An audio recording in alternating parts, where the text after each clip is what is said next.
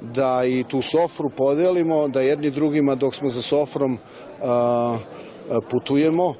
a, a na kraju krajeva i sefer znači putovanje, a svako putovanje je jedan kompleks manje.